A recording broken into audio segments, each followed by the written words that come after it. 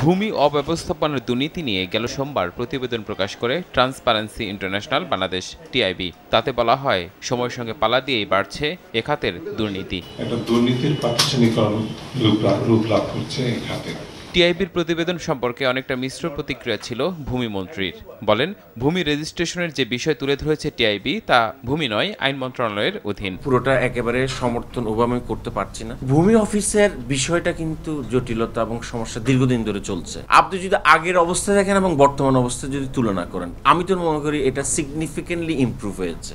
এই রেজিস্ট্রেশন ডিপার্টমেন্টের অংশটা নিয়ে কিন্তু সবচেয়ে বেশি সমস্যাটা হচ্ছে।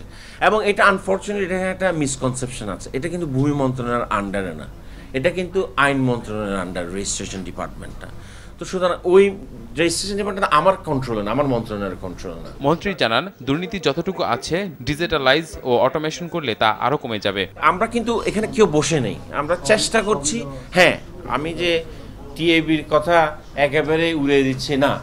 অবশ্যই এনারা ওনারা ওয়াচডগ হিসেবে আছে এবং ওনাদের অনেক যে সমস্ত কিছু তলা তুলেছে ডেফিনেটলি সেগুলো আমরা সেগুলোকে আরও দেখব এগুলোকে অ্যাড্রেস কীভাবে আরও করা যায়। তো সুতরাং আমি একদম ফেলেও দিব না বাট আবার কিছু কিছু জিনিস আমার মনে হয় সাম্প্রতিক আমরা অনেক ইমপ্রুভ করেছে আমি মনে হয়। এবং এই ইমপ্রুভমেন্টটা আমাদের কন্টিনিউ করব ইনশাল্লাহ তবে শতভাগ দুর্নীতি রোধে চেষ্টা অব্যাহত রাখারও কথা জানান ভূমিমন্ত্রী। মারুফ রেজা আরটিভি ঢাকা।